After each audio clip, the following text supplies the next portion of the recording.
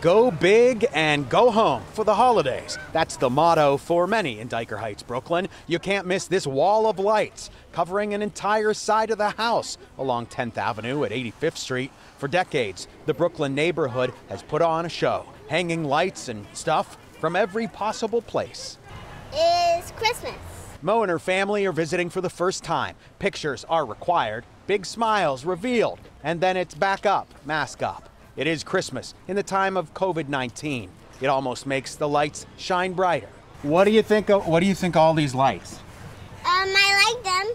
She's thinking about her family. Her wish list sounds familiar. I don't need anything because I love my dad. Although some of the regular decorators decided to sit it out this year, other homes have turned things on. No matter what, it is a holiday. People are coming out, but it's obviously less people. So it's not the crazy crush of crowds that we're so used to, where we're so we kind of get ready for. We, none of that this year.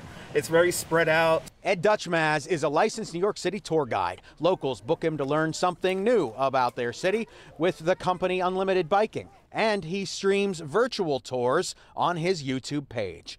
And I take people all around the city and we see the lights and you know, I go outside for you. 10th Avenue has never looked this good. So this is a, a much much needed surprise, much welcome surprise. I'll end this with a transit report. Should Santa and the sleigh encounter any trouble, our trains and buses are running on a holiday schedule.